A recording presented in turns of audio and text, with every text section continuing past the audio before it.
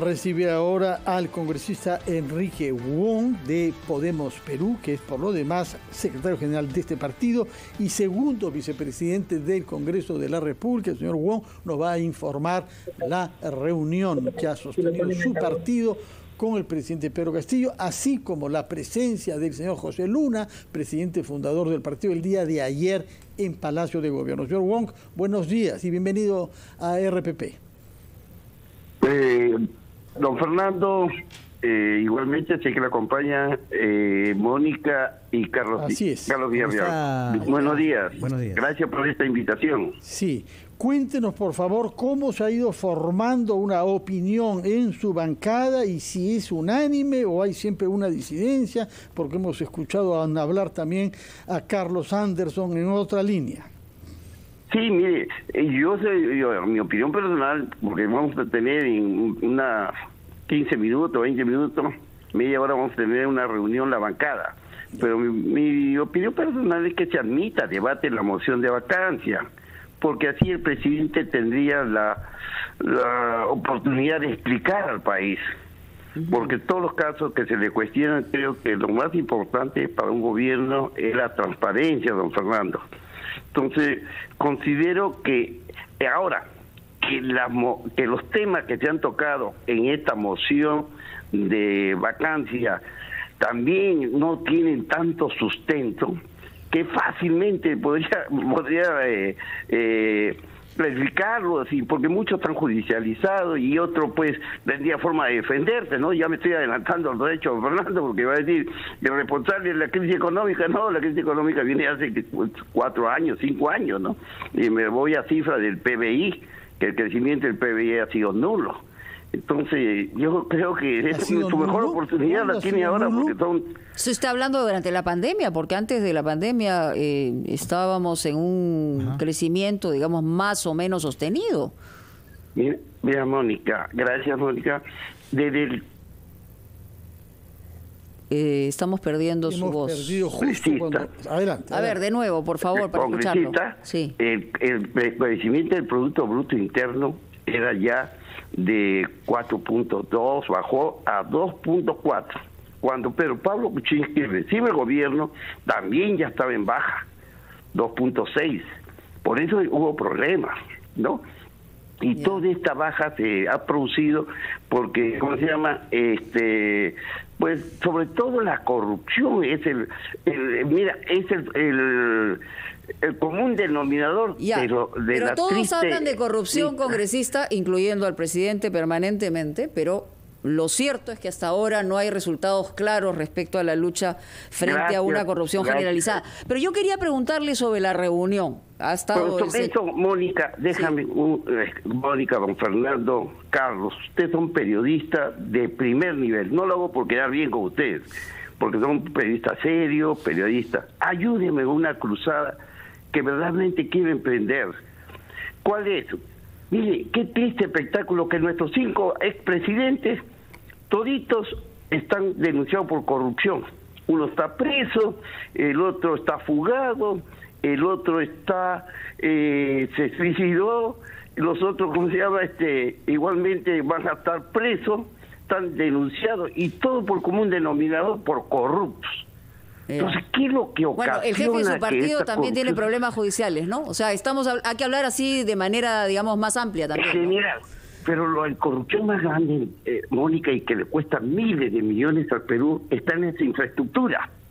Porque en las infraestructuras es donde se puede hacer los actos de corrupción más grandes. Donde sí, sabemos todo eso, pero lo que nos interesaba era saber su posición y la de su partido sobre la moción de vacancia, porque hasta el momento lo que hemos comprendido, además de estos temas generales que nos ha explicado usted, que usted eh, votaría a favor de, de la moción con la esperanza de que el presidente vaya y dé explicación de todo, porque a usted le parece que las acusaciones no son contundentes.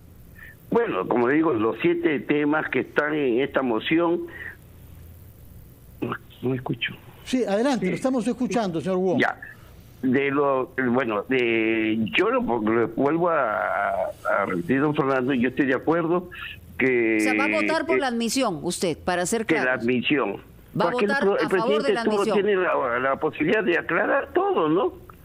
Qué mejor porque eh, esta es una especie de interpelación es la mejor forma de que eh, cualquier duda que haya eh, lo aclare. Pero yo veo lo anterior, realmente es triste. Lo de don Fernando, Carlos, el país se sigue huyendo, ¿no? Congresista Juan, disculpe, su opinión, su posición eh, tiene también, diremos, concordancia con el resto de su, de su bancada, porque hemos escuchado opiniones diversas, ¿no? Algunos dicen que sí van a apoyar la admisión, otros que no, entonces hay, eh, diríamos, un desconcierto en ese sentido en la opinión pública. No, no hay desconcierto, don Carlos, porque... Sí, la verdad, porque uno no sabe por quién va a votar y por qué. Ya, pero ahorita vamos a tener una reunión en la bancada para que definamos si en forma organizada como partido político, como su bancada, vamos a votar o a qué nos vamos a poner de acuerdo. Lo personal es que para mí es la oportunidad que tiene el presidente para poder este eh, toda, despejar todo tipo de dudas. ¿Qué piensa sobre otras bancadas que han decidido no respaldar esta moción de vacancia?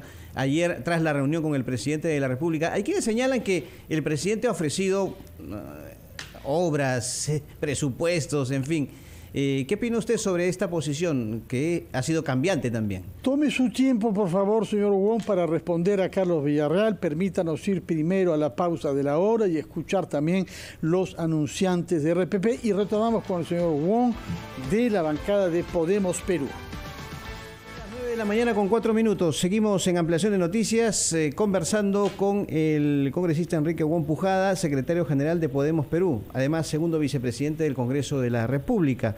Bueno, eh, estaba la pregunta planteada congresista Wong sobre la decisión que han tomado ya otras bancadas de manera firme. Eh, teníamos algunas discrepancias en esas bancadas, por ejemplo, APP, Acción Popular, etcétera, en el sentido si iban a apoyar la admisión de la moción de vacancia. Eh, se habla mucho de ofrecimientos que ha hecho el presidente de la República, versiones que están ahí en, en, la mesa, diríamos así. Pero, ¿qué opina usted respecto a esta, a esta posición ya expresada por dichas bancadas? Bueno, respeto los criterios que pueden tener las bancadas que este, están en forma unánime, están, se han pronunciado eh, que esta moción de vacancia, de vacancia siga adelante, ¿no? Igualmente hay, hay bancadas que están divididas. Por eso yo creo que se pondrán de acuerdo como lo vamos a hacer nosotros dentro de unos minutos. Sí, Pero eh, anoche escuchaba, eh, sí, congresista Wong, anoche escuchaba, porque salió bastante tarde, el señor Vladimir Cerrón, también como secretario general de Perú Libre, eh, y que había tenido la reunión con el señor Castillo, y al costado del señor eh, Vladimir eh, eh, Cerrón estaba justamente el señor Luna y otro representante de otro partido. Y en algún momento habló de que se, se estaban poniendo de acuerdo como para hacerle frente a esta especie de coalición de derechas, decía Cerrón, este, hablando como, como lo es eh, conocido, para eh, evitar una vacancia. Eso es lo que había dicho. Entonces, no sé si habló en nombre de todos o es que, digamos, era parte de su buen deseo de hacer esta especie de coalición frente a una derecha que llaman eh, extrema? Bueno, eh, gracias Mónica. lo que yo hemos hablado siempre en la bancada y a título de que dentro de unos minutos ya tenemos la versión directa, es que luchemos por la gobernabilidad, el enfrentamiento, porque lo que único que producen los enfrentamientos es que el pueblo sufra las consecuencias, ¿no? Porque ahí mismo esta eh, desconfianza provoca que el dólar se vaya para arriba, se dispare el dólar y el pobre es el que paga. El pobre, más pobre que siempre tiene que pagar las consecuencias de, de todo estos problemas que se originan, ¿no? Con el tipo de cambio cuando se levanta, las importaciones suben el campo está completamente, mi preocupación grande es ahorita que la producción en el campo va a ser menor, porque no, están por las nubes todos los fertilizantes. Entonces eso es lo que tenemos, que nosotros queremos luchar por la gobernabilidad. Presidente del partido, José Luna, me, pregunta sobre este proyecto de nuestro ley de control eh, concurrente eh, vinculante, porque creemos que ahí tenemos la piedra angular para lograr todo este tipo de corrupción que se provoca, ¿no? Me, imagino para lograr luchar contra la corrupción. Se puede, se puede, Mónica, Mire, por eso le decía, y a ver si por favor ustedes también me apoyen en ese sentido, ¿en cuál, Mónica? Mira, todo, tenemos el antecedente de los cinco presidentes, todos se han acusado por corrupción. Todos los que salen se las acaban de ¿Y de dónde salen las revelaciones y revelaciones si no es de la prensa? Si no, no saldrían de, digamos, porque los, los que cometen este tipo de delitos no van a salir a decir, ah, miren, yo cometí este delito. Es porque... Pero siempre al final se descubre como Odebrecht yo tengo la, no la satisfacción, pero por lo menos me tocó la responsabilidad como presidente de la Comisión de, de Fiscalización iniciar la, la denuncia con Odebrecht. Y nadie, mucho me decían, no. O la denuncia vino de fuera, ¿no? Y justamente de fuentes periodísticas. Bueno, pues nosotros lo tomamos y comencé la investigación. Lo que debemos y, todavía hubo es que usted gente que no quería. Usted, eh, que asistirá dentro de pocos minutos a una reunión con sus compañeros de bancada, eh, ha decidido votar por el momento sí a favor de la moción con la expectativa de que el presidente vaya, aclare y sea liberado de las acusaciones que a usted le parecen poco sólidas. ¿Estamos entendiendo Sí, en cuanto a los temas que se han tocado, me parecen poco sólidas, ¿no? Entonces, al contrario, deberíamos ¿Pero ¿por qué votan a favor de una moción que está basada en argumentos poco sólidos? No es una invitación, es una obligación, si se aprobase, para ser sometido a un proceso de vacancia por incapacidad moral permanente. Si usted vota así, lo que está votando es eso, no está invitándolo. Eh, mire, eh, don Fernando, aclarando, ¿no? Nosotros entramos ahorita al debate y de consecuencia del debate lo que apoye la moción de, de, vacancia tiene que pasar de 52. Entonces, pasando de 52, recién viene, eh, viene, se cita al presidente. Por eso nosotros Pero lo si que estamos dice, a favor de esto, que la moción no tiene sustento, ¿por qué vota a favor de ella? Mire, porque mi posición es que venga el presidente. Ahora, la idea sería completar con una nueva propuesta, una nueva moción que incluya lo de Breña, porque ahí sí hay algo más evidente. ¿Están evaluando ustedes presentar una nueva moción de vacancia? Deberíamos presentarse, eh, decir, este, bueno, la idea que este, este retiro, se pudiera haber retirado esta moción para que, eh, que eh, propongamos una nueva que incluya lo de Breña porque ahí sí hay ciertas eh, eh, fotos, por decirlo, que sí estarían abonando sobre la posibilidad de actos de corrupción, ¿no? Entonces, por eso es que eh, ha sido nuestra posición. creemos y muchos expertos también lo han expresado, ¿no? ¿Y ustedes han dialogado con otras bancadas para preparar esta nueva moción de vacancia presidencial? Sí, conversa, yo he dialogado con muchas, he, puesto mi punto de vista, incluso en mi misma bancada, conversando también con Carlos Anderson. Creemos que es muy, muy vulnerable estos temas que se han presentado, estos siete temas, tienen forma de contestar, ¿no? El Ejecutivo, aprovechando la posibilidad de, eh, que se apruebe, que venga esta a esa, ¿cómo se llama? A esa, este, la presentación del presidente. Congresista Bon, ¿qué impresión le ha quedado al señor Luna después de la reunión que ha tenido con el presidente? ¿Qué cosa, digamos, cuáles son los puntos clave de esa reunión? Bueno, lo que ayer tuve oportunidad a las 8 más o menos de conversar con el presidente, como secretario general del partido, que bueno, que planteó la, eh, la gobernabilidad, cómo... Pero ¿en qué, ¿en qué términos la plantea? Porque en realidad hay que, digamos, aterrizando, ¿en qué términos plantea la gobernabilidad? Un poco, eh, planteando lo que creo que como quinta vez he repetido este Mónica a través del proyecto de ley que se presentó, que hemos presentado nosotros, ¿no? Al nombre de poder, de multipartidaria, lo vinculante a la ley, a la ley aprobada por insistencia del control concurrente, ¿no? Correcto. Es, es simplemente se, se redujo a eso, digamos, esa conversación. ¿Y qué dijo el presidente?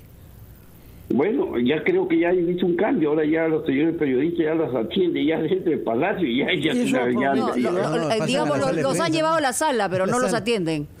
No, no, pero ya por lo menos están en el patio, ya no están en la calle atrás. Ah, ya, están, ya, están, en el palacio, ya avanzamos un pasito, pero ya es algo. Entonces yo, yo tengo la esperanza de que O sea, tenemos que estar pues. mendigando información, digamos, para poder darle a conocer a la ciudadanía por dónde va la cosa. Pero yo creo que el presidente tiene que entender que tiene que prepararse más todo y aceptar, por ejemplo, una entrevista de radio programa, que lo mejor podría ser ojalá que usted oportunidad de informar a todo el pueblo. Antes de que nos vence el tiempo, Carlos Villarreal quería preguntarle sobre otro tema igualmente importante. Ya que estamos hablando de proyectos de ley congresista, eh, ¿en qué quedó el proyecto que presentó eh, su compañera de bancada, Digna Calle, que la verdad eh, bueno, ese proyecto ya fue retirado, Carlitos. Carlitos, ese proyecto ya ¿Sabe a cuál me refiero, no? Al, que pretende formalizar posiciones informales en zonas arqueológicas. Claro, por eso no firmé yo ese, a pesar de que era mi bancada que venía, no lo quise firmar, al contrario, planteé que fuera retirado. Creo que, esta iniciativa se puede prestar para entender que se está legalizando la, creciente mafia de tráfico de terrenos. esa era la sospecha, justamente, sí. Por eso. Pero hay mucha gente también, es cierto, Carlitos, que hay más de 30 años viven ahí, ya se le dio el permiso para tener luz eléctrica, agua, desagüe, ¿no? Y también ya tiene mucho tiempo, ¿no? Pero sí hay, hay mafias que eh, trafican con terrenos y la verdad que este proyecto era premiar a esos... este... por lo menos ya está viviendo ahí, ¿no? Entonces habría que ver también cierta consideración, pero no con un proyecto, este proyecto así tan crudo, ¿no? Que ya eh, que se presentó, por eso yo yo no lo firmé y estuve en contra. Eh, puede ser que tenga cierta razón esta gente que tiene más de 30 años, pero también debemos no fomentar precedentes, no formar precedentes muchas gracias por informarnos que ese proyecto ha sido retirado en beneficio de las zonas arqueológicas de nuestro país y de la legalidad del acceso a la propiedad de las tierras circundantes a esas zonas. Muchas gracias, señor Wong, por sus declaraciones y veremos entonces, después de que se reúna con sus compañeros de bancada, qué es lo que votan los seis miembros de Podemos Perú. Muchas gracias por sus explicaciones. Buenos días. Vamos a hacer una pausa antes de retomar ampliación de noticias.